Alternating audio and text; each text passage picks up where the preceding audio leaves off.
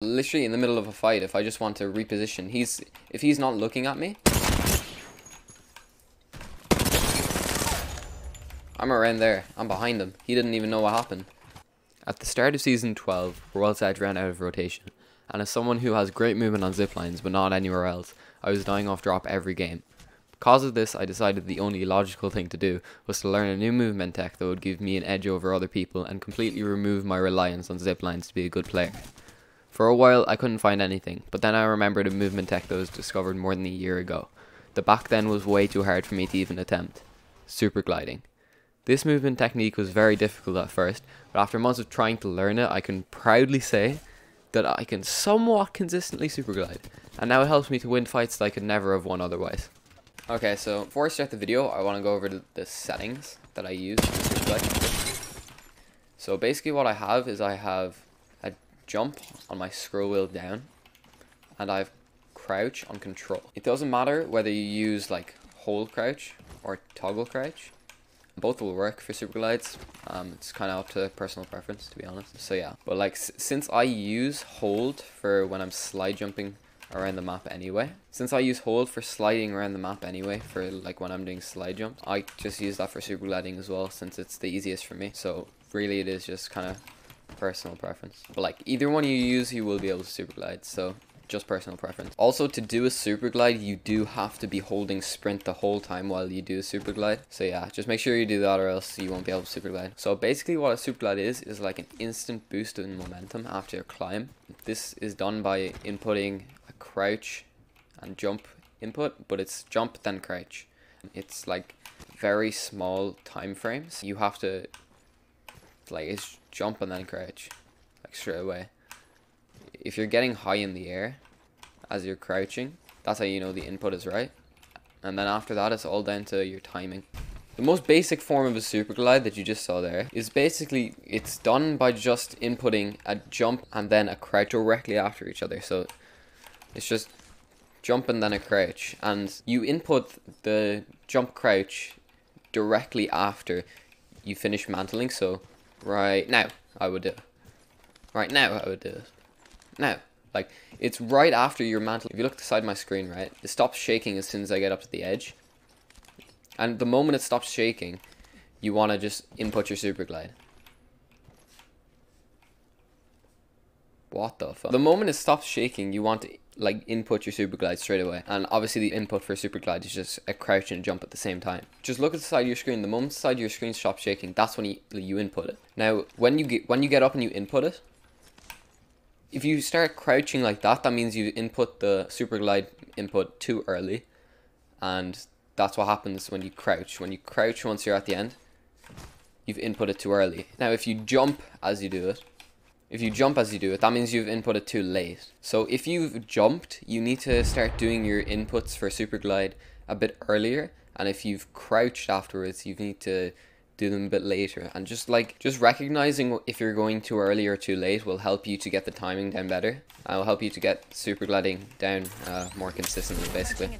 okay so the first advanced thing i'm going to be showing you to do with super glides once you have the actual just basic one down is a super glide tap strafe so when you do this it's it's literally just you do your regular tap strafe but like directly after super glide, since you're inputting a jump to do the super glide, you are able to do a tap strafe.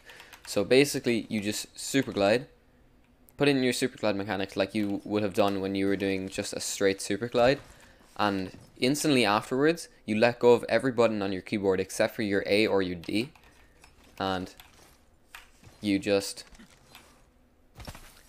tap strafe the way you want to go. And that's pretty much it. Obviously, um, when you're doing it, you want to only kind of do 90 degrees because, okay, say I'm fighting this guy. This is this is why you only want to do 90 degree super glides. If you're doing a super glide into a 180, it's okay, but you're, you're not getting much out of it. You, you don't get much out of that kind of a super glide. But if you do a super glide into a 90 degree tap strafe, that can be really helpful. Because say I'm fighting this guy, okay?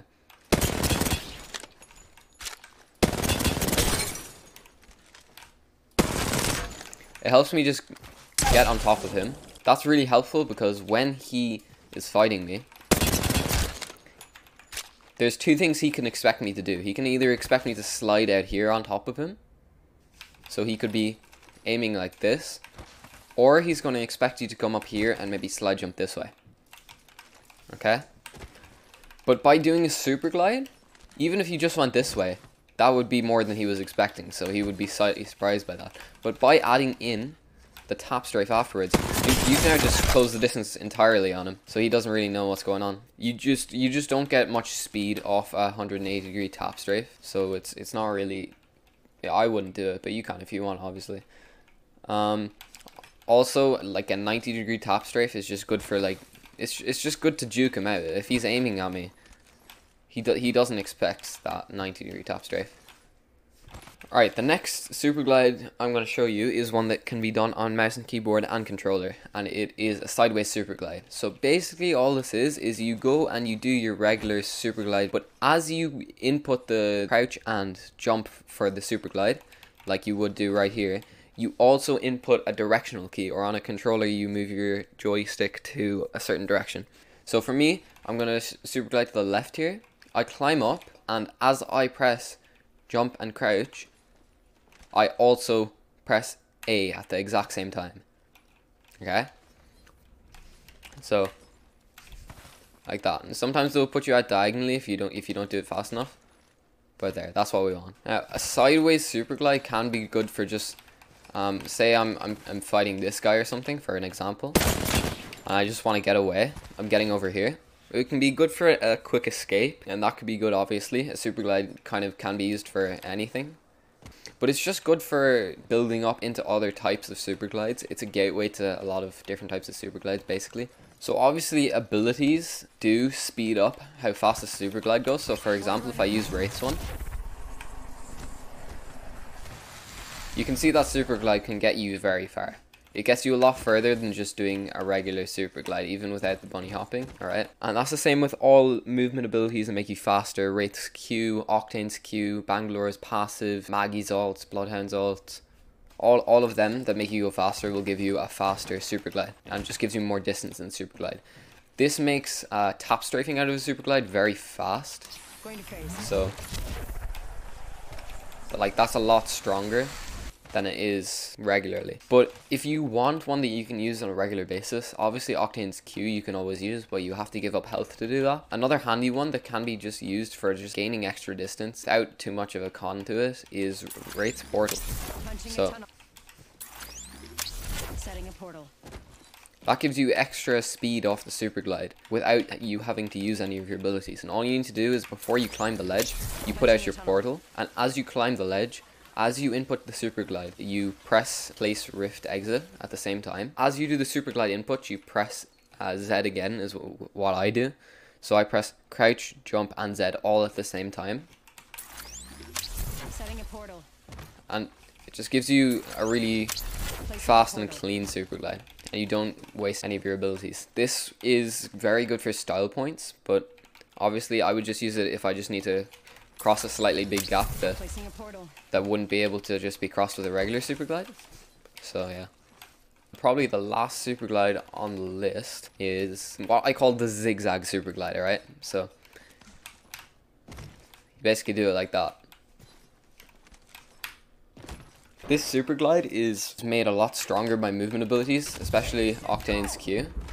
Like that that's just insane to try track that to be honest. Imagine this guy is my enemy, okay?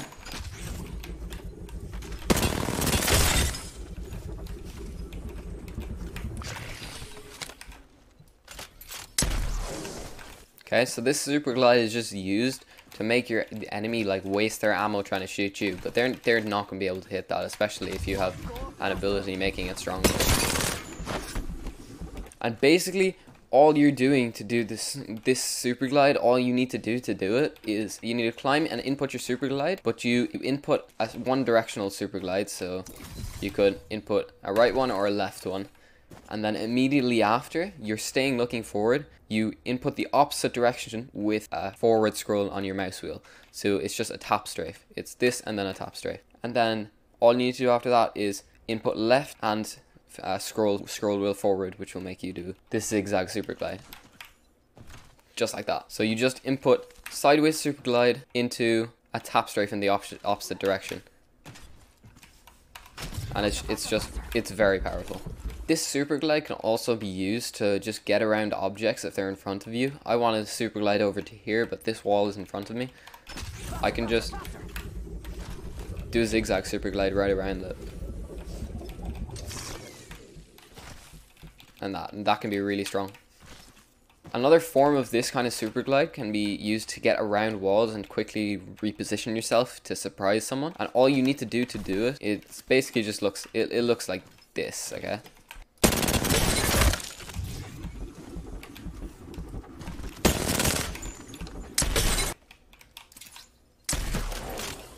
Okay, so it just looks like that. So basically all you're doing here is you're doing a super glide to, the, to one side. And you just, so if I do a super glide to the left, I'll turn my camera right and scroll up on my mouse wheel to tap strafe. And I turn my camera this way. Turn my camera this way. Super glide to the left, turn my camera this way, and I'm scrolling up while I'm turning my camera. And that's it. That's all you need to do there. That's all you're doing there. And this can be used literally in the middle of a fight if I just want to reposition. He's if he's not looking at me. I'm around there. I'm behind him. He didn't even know what happened. Obviously, don't try to do these complicated super glides if you don't have the basics down. I'll post another video probably trying to explain how I learned to do the super glides more consistently. Just a regular super glide. Um, but yeah, we'll see. But basically, yeah, sorry, sorry if I'm bad at like explaining stuff, but people wanted this guide, so I thought, you know, I might as well make it.